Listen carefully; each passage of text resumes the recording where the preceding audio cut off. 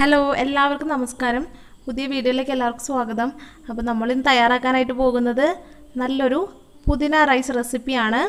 നല്ല ടേസ്റ്റി ആയിട്ടുള്ള നല്ല ഫ്ലേവേഡ് ആയിട്ടുള്ള ഈ ഒരു റെസിപ്പി എങ്ങനെയാണ് തയ്യാറാക്കേണ്ടതെന്ന് നമുക്ക് നോക്കാം. അപ്പോൾ നമുക്ക് വീഡിയോയിലേക്ക് പോകാം. അപ്പോൾ ആദ്യം തന്നെ നമുക്ക് ഇതിനായിട്ടൊരു പേസ്റ്റ് തയ്യാറാക്കി എടുക്കേണ്ടതുണ്ട്. അതിനായിട്ട് ഞാനിവിടെ മിക്സിയുടെ ജാറിലേക്ക് ആദ്യം തന്നെ കുറച്ച് പുതിന ഇലകൾ ചേർത്ത് കൊടുക്കുന്നുണ്ട്.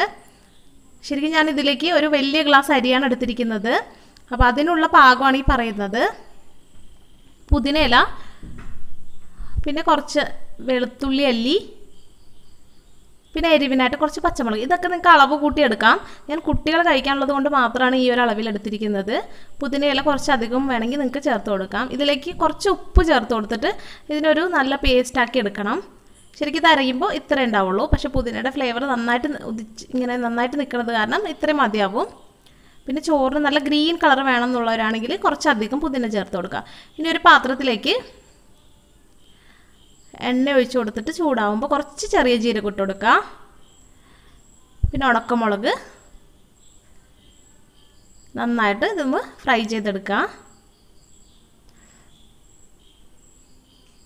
ഞാനിവിടെ സൺഫ്ലവർ ഓയിലാണ് എടുത്തിരിക്കുന്നത്. പിന്നെ ഈ സമയത്ത് നമുക്ക് കുറച്ച് പച്ചക്കപ്പലണ്ടിയാണ് ഞാൻ ചേർത്ത് കൊടുക്കുന്നത്. വറുത്തത് ചേർത്താലും കുഴപ്പമില്ല.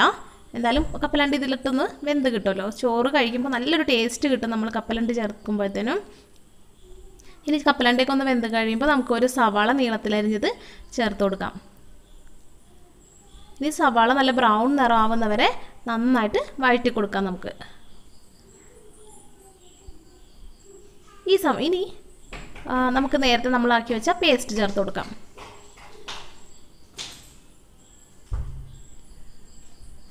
ഇനി നന്നായിട്ട് ഒന്നും കൂടെ ഒന്ന് വഴറ്റിയെടുക്കാം.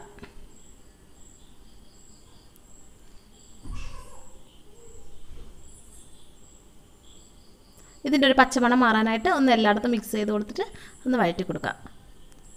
ഇനി ഞാൻ ചോറിട്ട് കൊടുത്തിട്ടുണ്ട്. ചോറിടുന്നത് കാണിക്കാൻ അത് വിട്ടുപോയി. ചോറ് ഞാൻ ഈ ഒരു സമയത്ത് തന്നെ ഇട്ട് കൊടുത്തു. ഒരു ഒരു മിനിറ്റ് കഴിഞ്ഞത് ചോറ് ഇട്ട് കൊടുത്തു. ഇത് ഞാൻ ഉപ്പും ചെറുനാരങ്ങ നീരൊഴിച്ചിട്ട് വേവിച്ചെടുത്തതാണ് ഈ ചോറ്. ഇത് ജീര റൈസാണ് ബസുമതി റൈസ് വേണമെങ്കിൽ എടുക്കാം. അപ്പോൾ ഇങ്ങനെ നന്നായിട്ട് മസാല വെച്ചിട്ട് മസാലയിലേക്ക് നന്നായിട്ട് മിക്സ് ചെയ്ത് കൊടുക്കാം അപ്പോൾ ഈ ചോറ് വേവിക്കുമ്പോൾ ലൈം ജ്യൂസ് ഒഴിക്കുക. അതുപോലെ ഉപ്പിടാനും മറക്കരുത്. കാരണം നമ്മളിനി അതിന് ശേഷം നമ്മൾ ഈ മസാലയിലേക്ക് വേറെ ഉപ്പൊന്നും ചേർത്തിട്ടില്ല. വേണമെങ്കിൽ ഇപ്പോൾ ഉപ്പ് കുറവുണ്ടെങ്കിൽ നിങ്ങൾക്ക് ഈ സമയത്ത് ചെറുതായിട്ടൊന്ന് ഉപ്പ് പൊടിയെടുത്തൊന്ന് തൂവി കൊടുക്കാവുന്നതേ ഉള്ളൂ. ഇതൊന്ന് സോഫ്റ്റ് ഒന്ന് മൂടി വെച്ചിട്ട് ചെറിയ തീയിൽ ഒരു അഞ്ച് മിനിറ്റ് വെക്കണം. അങ്ങനെ ആകുമ്പോൾ എല്ലായിടത്തേക്കും ആ പുതിന ഇലയുടെ ഒരു ഫ്ലേവർ എല്ലായിടത്തേക്കും വന്നോളും.